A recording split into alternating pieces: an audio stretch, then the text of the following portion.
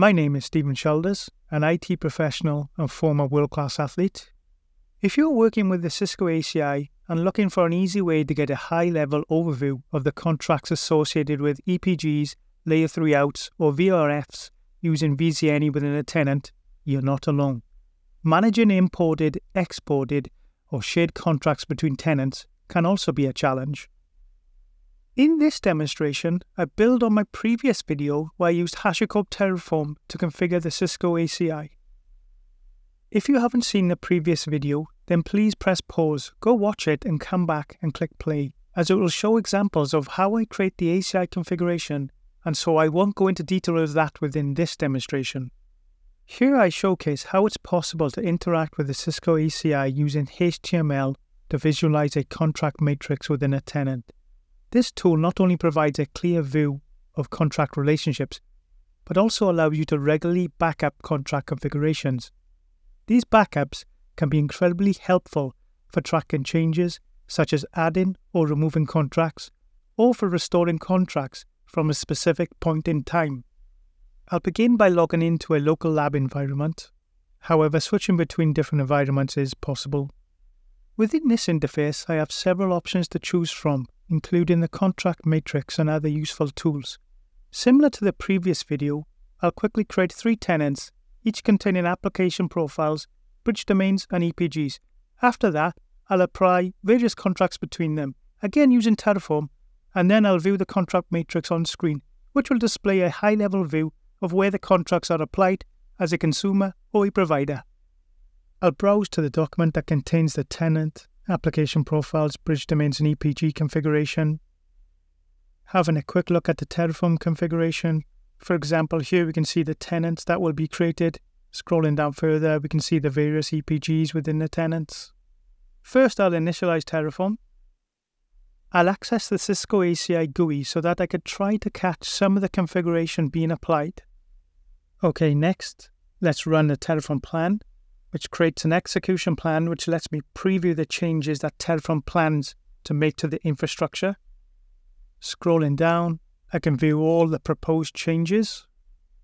The plan command alone does not actually carry out the proposed changes. I'll click Terraform Apply and I'll quickly browse to the Cisco ACI. There you go, I was just fast enough to see some of the tenant configuration being applied. I'll download the generated files, which also include the Terraform state files. Scrolling back to the application selection options, I'll select the contract matrix. At this stage, the three tenants should now dynamically appear for selection.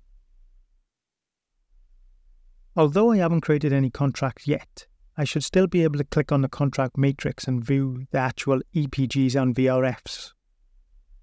Now I have some EPGs within the tenants, I'll go on to apply various contracts across the EPGs and VRFs. I'll keep the example simple to focus on illustrating the relationship between endpoint groups, VRFs, and later on L3 out EPGs.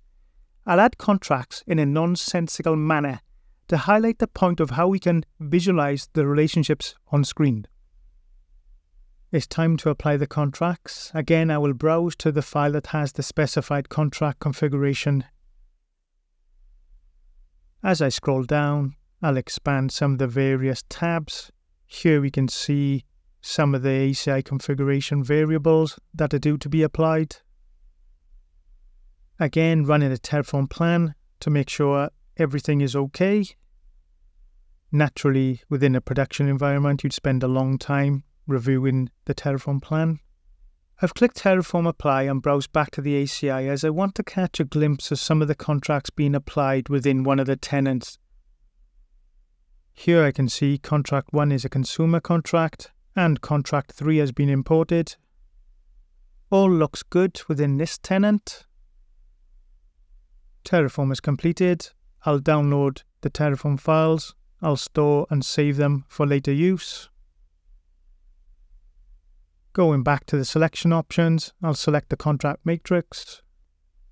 I'll select Lab Steve Test 3 first. I'll refer to this as Tenant 3. Looking at this table, in the first column, I can see EPGs and VRFs. Also, I can see what application profile and tenant the EPG resides in, and I can see the tenant information for the VRF. Within the second column, I can see a contract name and its associated tenant name where the contract was originally created. For example, this contract was created in tenant 3.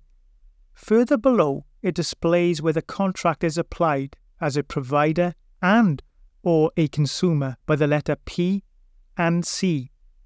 With this high-level view, I can see that contract 3 was not only created within tenant 3, but it's been imported into tenant 1 and 2. Within tenant 1, it's applied to EPG 2 and 3 as a consumer, and within tenant 2, it's applied to EPG 2 as a consumer. The provider, EPG 3, is within tenant 3. Also, within tenant 3, I can see that no contracts have been applied to the VRF. Let's take a look at tenant 2. Looking at tenant 2, again we can see the imported contract from tenant 3, which is applied to EPG 2 within tenant 2 as a consumer contract. We saw this when I selected tenant 3. Within tenant 3, we saw contract 3 was applied to tenant 1 EPGs. As I've specifically selected tenant 2 in the options, you will notice the tenant 1 EPGs used in contract 3 are not displayed here. This is intentional as I've deliberately selected tenant 2 and the EPGs in tenant 1 are not configured as providers for contract 3.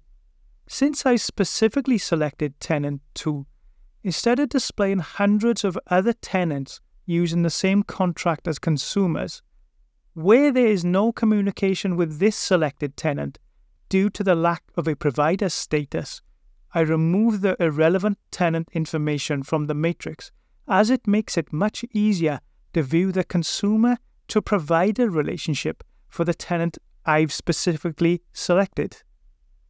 Also, I can see contract 2 has been created within tenant 2. It's being applied to EPG 2 as a provider and consumer within its own tenant.